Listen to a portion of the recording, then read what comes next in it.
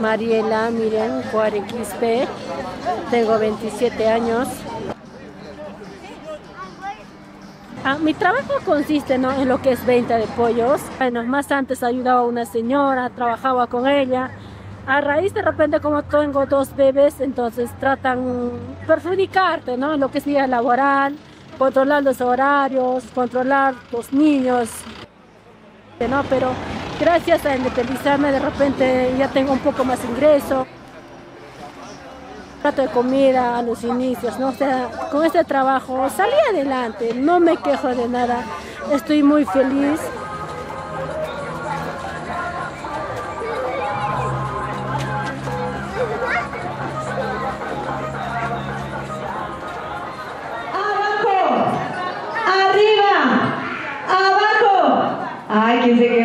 abajo,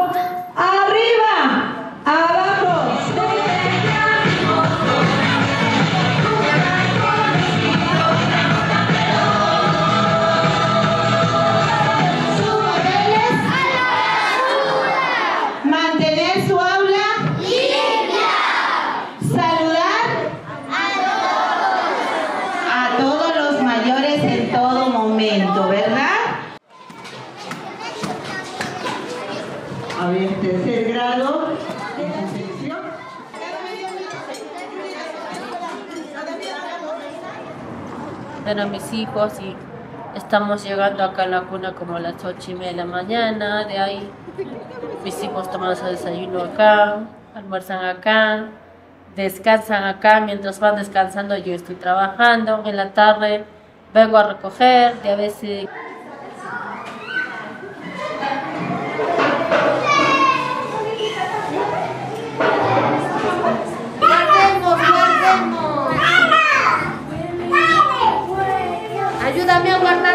traer el túnel. Espérate que espera que salga. ¿Ya? Ya. Vamos.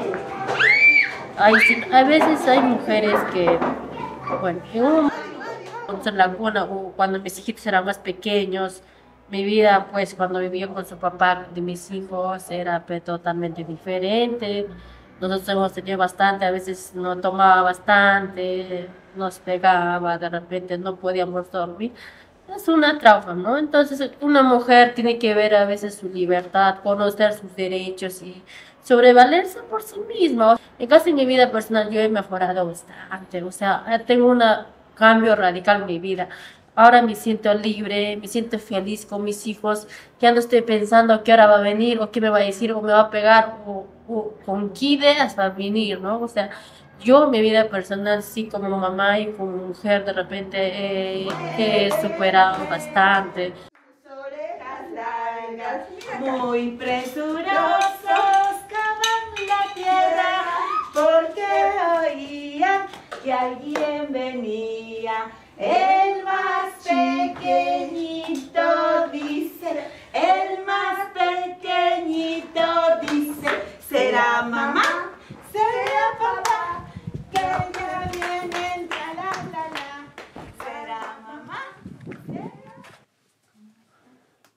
Buenos días, mi nombre es, yo he sido mamá en el 2016, que mi hijita ahora tiene 11 años.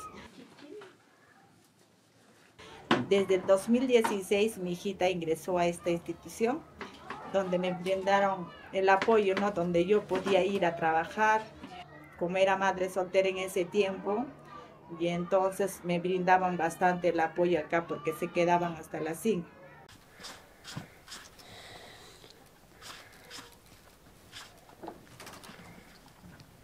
Después de la pandemia, todo, he retornado a... Tengo otro bebé. He tenido otro compromiso. Que actualmente vivo con, con, mi, con mi pareja. Tiene mi hijita ahorita un año y seis meses. Y está desde el año pasado. Me embaracé, no ha sido un proyecto, ¿no? Para embarazarme.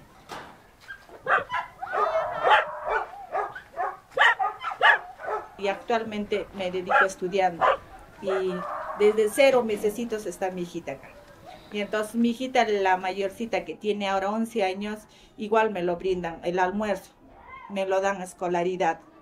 Entonces ella baja acá y almuerza y en la tarde se dedica a hacer su tarea. Yo vivo prácticamente, ahora no vivo en donde yo vivía más antes con mi pareja primero, ¿no? Vivo donde está mi, mi otra pareja, ahí vivo actualmente y ahí me radico viviendo.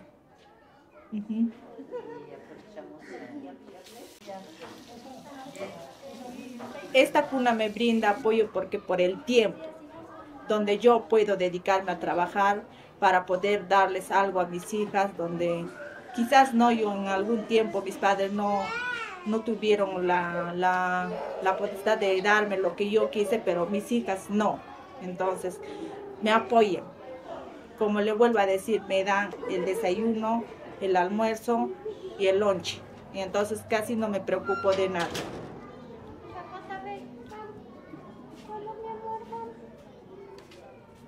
Hola, hola. Hola.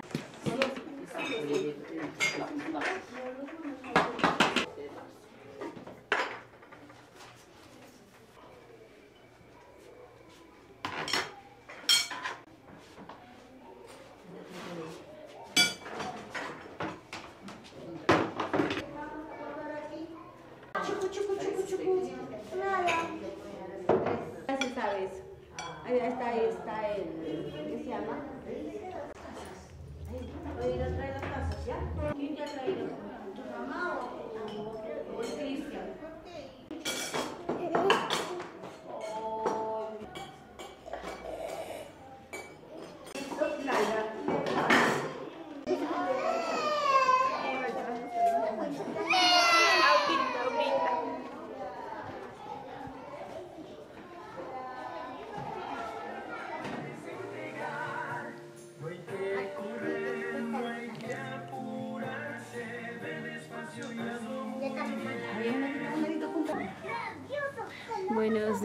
yo me llamo Maritza.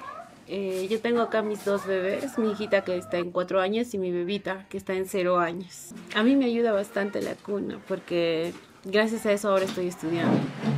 Yo estoy estudiando costura, eh, me he podido comprar la máquina, eh, tuve que sacar un préstamo con mi pareja para poder comprarme las máquinas. Y bueno, ahora estoy estudiando y también estoy haciendo en mi casa mis prácticas.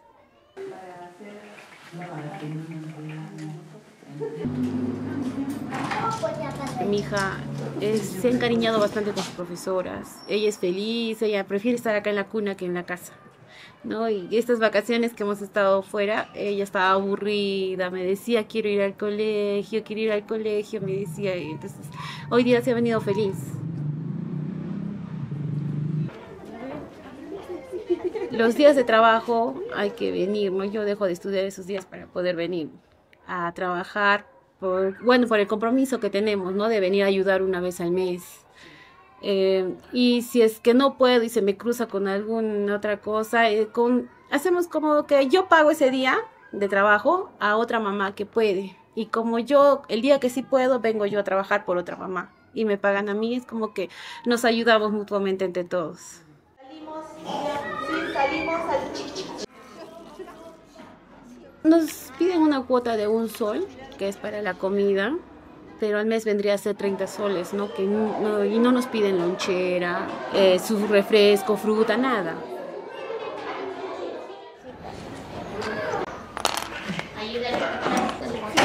Acá, mira, acá para sentarse. Hola, mi nombre es María Alcázar Castillo, soy directora de la institución educativa galo peruana. Tengo trabajando en la institución 22 años y 4 años de directora. Eh, para mí es una satisfacción tener a 220 niños matriculados en la institución, tanto en el nivel inicial como en el primer en el nivel primario. Tenemos niños desde 0 años de edad hasta los 12 años.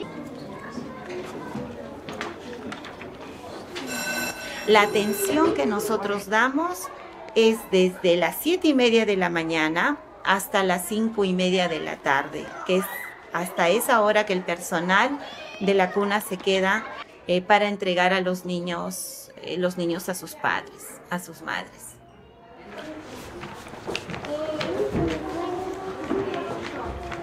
Acá está el Goyo si quieres.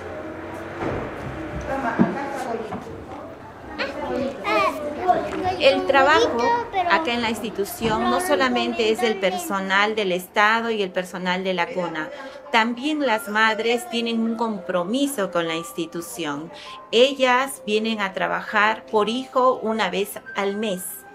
Es, ellas vienen en la mañana y se les designa cualquier lugar pueden ir a la cocina, pueden ir a ayudar en, la limpieza, pueden ir al reparto de alimentos, se distribuye según la necesidad del colegio. Es muy importante y las madres lo saben, porque al estar ellas acá se dan cuenta de los servicios que nosotros brindamos, de los beneficios que reciben sus niños.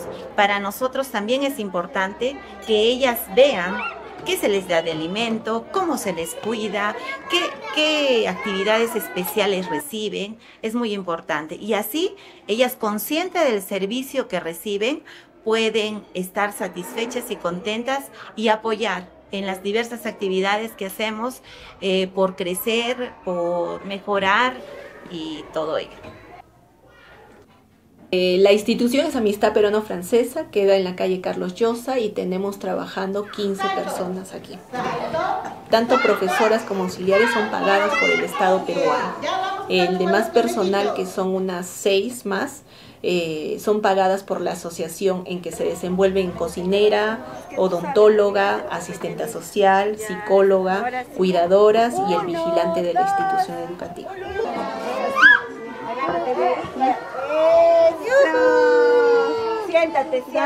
Eh, recibimos mucho apoyo de la asociación cuando vienen los amigos franceses y de algunas donaciones que nos dan como son pañales, ¿no? No todas las mamás traen pañales. Aparte de lo que es leche, pañales, para los más grandecitos lo que son abrigo, ¿no? Algunos accesorios como chompas, algunos juegos también para lo que es su educación que ellos necesitan. Medicinas, cremas que también porque es lo que los niños les falta en el hogar.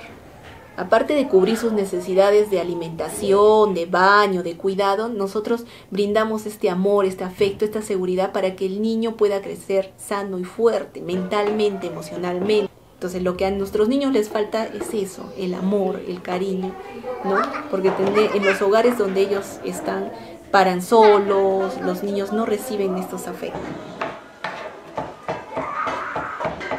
Situaciones de conflicto emocional, de conflicto económico, eh, de situaciones difíciles por las que vienen nuestros niños, el objetivo de nosotros, como les mencioné, es que salgan de esta institución niños fortalecidos, niños con buena autoestima, niños que se quieran y que se amen y que sean, tengan un proyecto, tengan la ilusión de culminar sus estudios secundarios y a futuro ser profesionales. Ese es nuestro objetivo.